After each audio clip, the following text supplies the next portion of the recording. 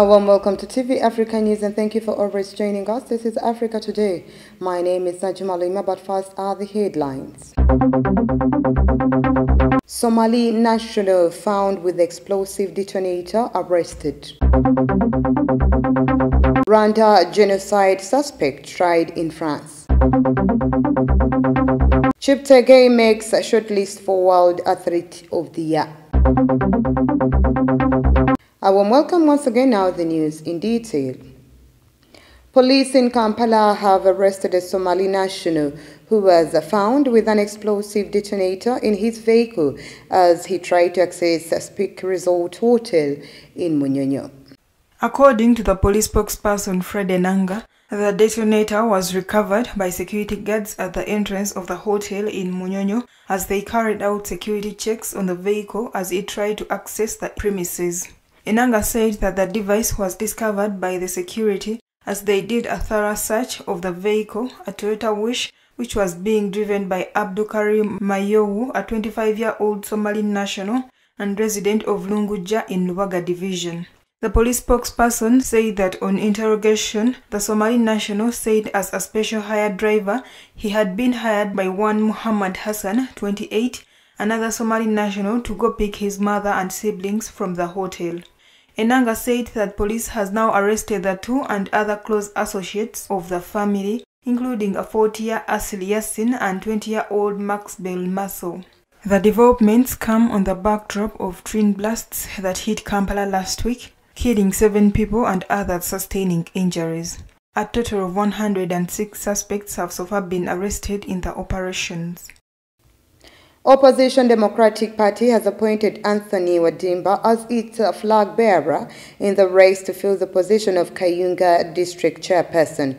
This is after the sudden death of the former Kayunga District Chairman, Mr. Fefeka Serubogo, on the 17th of June 2021. Nalugo reports. Addressing a news conference at their party headquarters in Kampala, DP President General Norbert Mao said Mr. Anthony Wadimba is capable of representing DP and taking back the district in the hands of the people of Kayunga. I believe we have chosen the best possible candidate from within the ranks of DP and I believe we have chosen the best possible candidate from among all the political parties that are going to fight. On June 17th, the body of the Kayunga district chairman, Fefeka Serubogo, was found hanging on a tree behind his house. Police investigations indicated that Serubogo had committed suicide, but DP President Norbert Mao termed the untimely death of the district chairman as controversial, calling for thorough investigations. The people know what happened, but they don't have a platform to say it. And I'm sure the cause of Mr. Serubogo's death is going to be one of the campaign issues. Kayunga must be safe for those who fight to defend the people. One of the issues affecting Kayunga residents is land grabbing, which George Fred Kagimu, who is the vice president of DP in Buganda region, also the former mayor of Mukono municipality, say the DP flag bearer has come to solve among other issues. I know the situation in Kayunga. People in Kayunga are living in an environment of insecurity. And the insecurity is mainly caused by land grabbing. It's caused by general poverty of the people the Electoral Commission last month rolled out a program for the by-elections across the country. Nomination of candidates at respective district headquarters will take place on November 29th and November 30th, while elections in Kayunga will be held on December 16th. Nalugo Muyingo, Africa Today. Uganda will on the 26th November 2021 launch the beginning of the 16 days of activism campaign against gender-based violence themed Orange of the World and violence against women and girls now majorly aimed at eliminating gender-based aggression. Kachanchu has more. Addressing the press today at the Uganda Media Center, the State Minister for Gender, Labour and Social Development, Honorable Peace Mutuuzo, said this campaign is taking place amidst escalated cases of gender violence countrywide, which calls for consulted effort by all stakeholders to end violence against women and girls involving raising awareness on gender-based violence, providing platform for dialogue, demonstrating solidarity of women and men on addressing issues of gender-based violence and strengthening local networks for stakeholders to address gender-based violence. We'll kickstart a series of activities by state and non-state actors in different localities across the country. The Ministry of Gender, Labour and Social Development, on behalf of government, is coordinating efforts by all stakeholders around this campaign with the following objective. One, to raise awareness on gender-based violence as a human rights violation public health threat, economic and social impediment and the family, community, national, regional, and international level. Two, provide a platform for dialogue and develop a strategy for sharing on good practices for preventing and responding to gender-based violence. Three, demonstrate the solidarity of women and men to address issues of gender-based violence. Four, strengthen local initiatives and networks for stakeholders to address gender-based violence. Five, advocate for action by government, religious and cultural institutions, faith-based organizations, civil society organizations, the media and other actors. The minister further said it should be noted that prevalence of all forms of gender-based violence in the country remain unacceptably high, where 56% of able-married women and 44% of able-married men have experienced physical, sexual or emotional spousal violence accompanied by increased child marriages at 34%, female genital mutilation in northern Uganda, whereas according to the Uganda Police Crime Report 2020, over 14,000 cases of defilement were reported with 44% being boys and 59% girls aged between 13 and 17.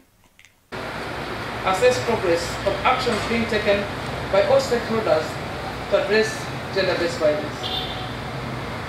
The status of gender-based violence in Uganda. It should be noted that prevalence of all forms of gender-based violence in Uganda remain unacceptably high. Data from Uganda Demographic and Health Survey conducted in 2016 indicate that 56% of ever married and 44% of ever married men, sorry, 56% of ever married women and 44% of ever married men have experienced spousal violence, either physical, sexual, or emotional.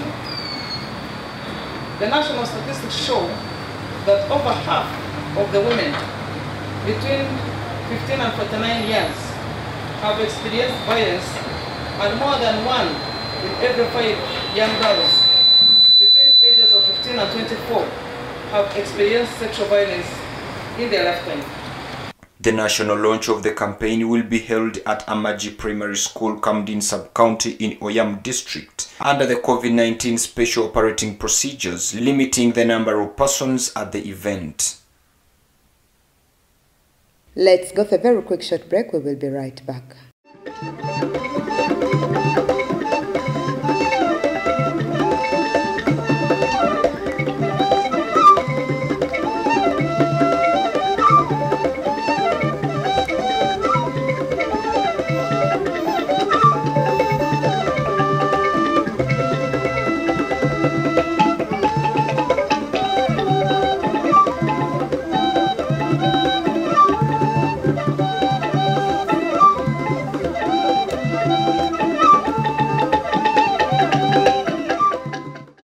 Welcome back. You're still watching TV Africa News, uh, The Right to Know. A former hotel driver went on trial in Paris on Monday, accused of complicity in Rwanda's 1994 genocide for transporting Hutu militiamen who massacred hundreds of Tutsis.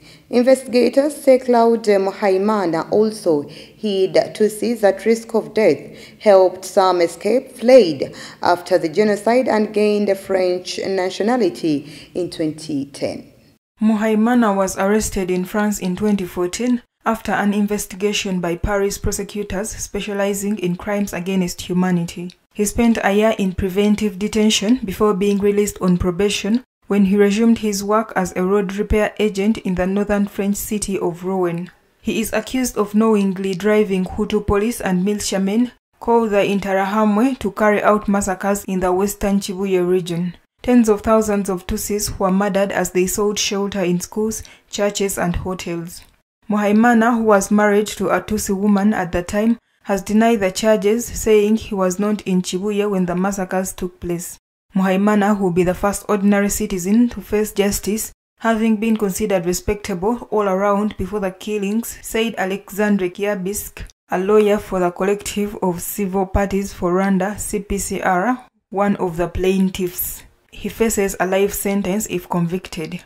France has generally refused requests to extradite suspects to Rwanda, prompting President Paul Kagame to accuse Paris of denying Rwanda jurisdiction.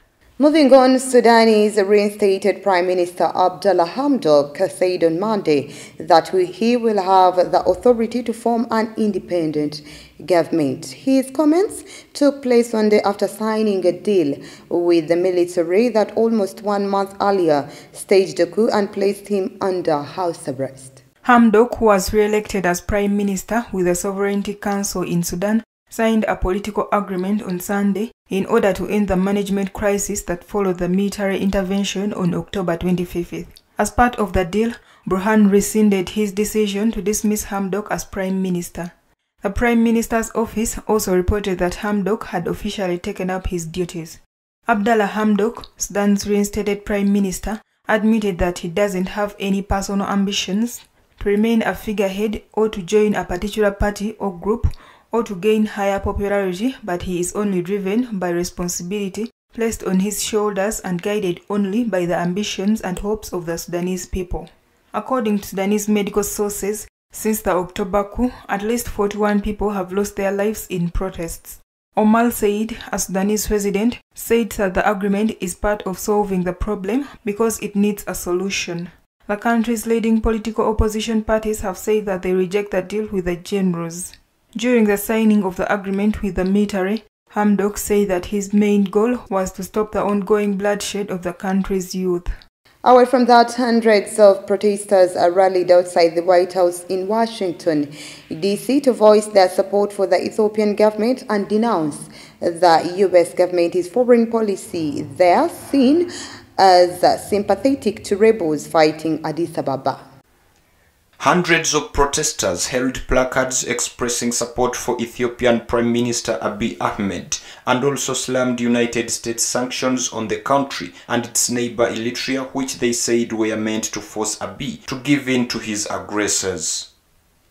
Abel Gashe, a protester co-organizer and senior financial consultant from Northern Virginia, said that Ethiopians can govern their own affairs, adding that the United States should not interfere in its affairs. He said that they were there to say no more Afghanistan, no more Syria in Ethiopia, adding that Ethiopia can decide its own fate and the interference that they see from Western countries is totally uncalled for, not necessary and should stop. Rallies were also in London where demonstrators waved flags and let off smoke flares as they protested outside of the United States Embassy in London, calling for an end to what they say is American support for Tigray People's Liberation Front rebels. The United States has sanctioned Asmara for its role in the conflict in Ethiopia. Libya's interim Prime Minister Abdul Hamid Dbeibah on Sunday filed his candidacy to run for president in next month's elections despite being barred from elections under the current rules. Abdul Hamid Dbeibah is meant to lead the country until a winner is declared following presidential elections on December 24th. Libya's interim Prime Minister Abdul Hamid Dbeibah stated that he presented his candidacy papers to serve the people and not for anything else for the upcoming presidential elections and asked God to help them all for the good of the country and the good of the great nation and its great people. He is the latest high profile candidate to emerge in the race. He submitted his application a day before the November 22nd deadline. The powerful businessman from the western city of Misrata is barred from running under Libya's current election laws. Hamid Dbeibah had promised he would not seek office in the vote as a condition to taking on his caretaker role earlier this year. In order to be eligible, he was supposed to have suspended himself from governmental duties at least three months before the polling date, which he failed to do. Dbeibah told journalists he felt responsible for the continued reconstruction of the country, torn apart by years of civil war. It is not clear if the country's electoral commission will accept his candidacy. Earlier this month, several controversial candidates popped up, including Saif al-Islam, the son and one-time heir apparent of Gaddafi. Military commander Khalifa Haftar, who besieged the capital of Tripoli for nearly a year in 2019, is also on the list. Dbeibah was appointed during the United Nations-led talks in April to lead the executive branch of interim government that also included a three-member presidential council chaired by Mohamed Yunis Menfi, a Libyan diplomat from the country's east. Before he took the position, he signed a pledge that he would not seek office in the next elections. Let's once again take a very quick short break. We will be right back.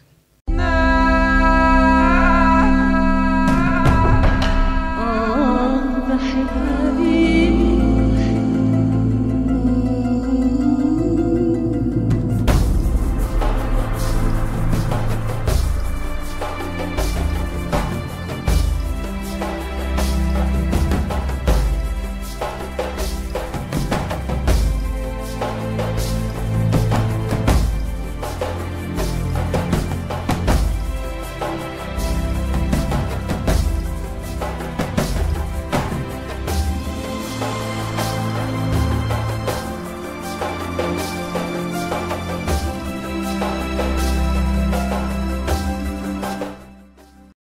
In our business news today, in the Mercado do 30, one of the largest markets in Luanda, many vendors fear being contaminated by COVID-19 due to non-compliance in the use of masks and little social distancing.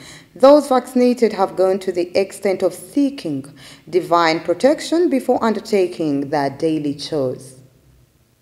Located in the Angolan municipality of Viana, 30 kilometers from the capital Rwanda, Macedo do 30 is the largest open-air market, supplying various products and also brings together thousands of people every day. The market's main source of income are women who fill most of this square for trading goods and services.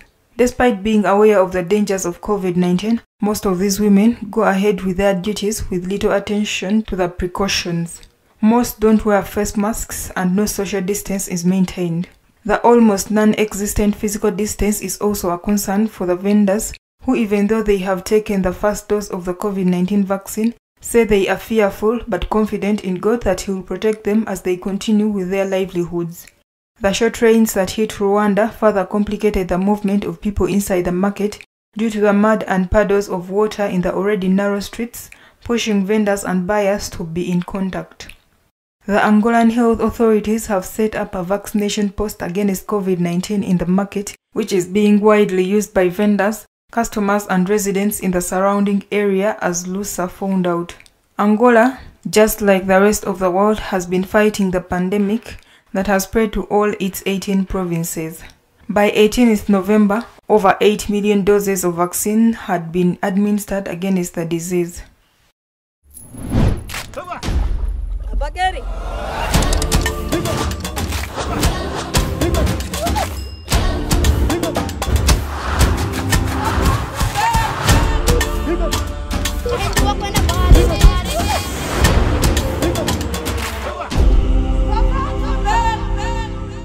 In a health news today, Nigeria has launched a mass COVID-19 vaccination campaign in Abuja in an attempt to prevent a rise in cases of coronavirus. After several months uh, since the introduction of the vaccines, some patrons say they are now convinced about the immunization. Let's take a look. This comes after repeated government assurances about the safety of the vaccines. One of the patrons, Philip Eninaya, said that she waited this long to take the vaccination because she wanted to be sure of which vaccine to take, adding that after her analysis and news and messages across the world, she decided to take the vaccine. Eninaya called upon all her family members and Nigerians to take the vaccines so that they can get immunity and go back to their normal lives again. Philip Eninaya added they are now convinced about the scientific process that brought the various vaccines and collaboration both locally and internationally and their National Agency for Food and Drug Administration and Control has also collaborated, meaning that it is safe. At Eagle Square in the country's capital Abuja, dozens waited to receive the AstraZeneca and Moderna vaccines. Vaccination sites will also be set up at private health facilities, universities and shopping malls. Faizo Executive Director and Chief Executive of National Primary Health Care Development Agency, stated that they have been able to secure up to 100 million doses of vaccines and expect that with two doses, meaning that approximately about 50 million Nigerians will be vaccinated. He said that they are going to be targeting 112 million Nigerians, that's around 50% of the country's population. The West African nation has reported 2,973 deaths since the emergence of the pandemic is aiming to reach herd immunity against the virus.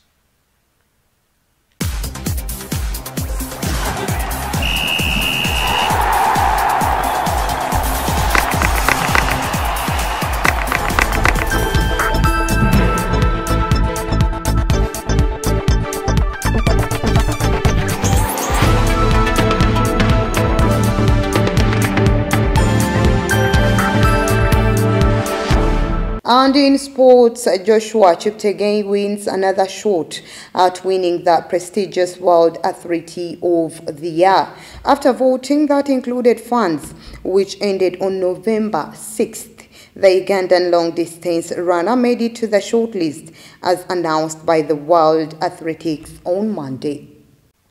Cheptegei, who has steadily turned into an athletic superstar, claimed gold and silver in the 5,000 meters and 10,000 meters at the Tokyo Olympics. He also ran a world-leading 8 hours 9 minutes and 55 seconds over 2 miles at the Prefontaine Classic meet in Oregon. The 25-year-old competes for the prestigious award with last year's winner in Swedish pole vaulter Mondo Duplantis, as well as Kenyan marathoner Eliud Kipchoge, who has won the accolade twice. Norwegian hurdler Karsten Warholm and American shot putter Ryan Crouser are the other athletes who complete the short list. The winner will be announced at the World Athletics Award 2021, which will be held virtually on December 1st. That was the news. Thank you for always keeping it TV Africa. Please do stay tuned. More programming coming your way.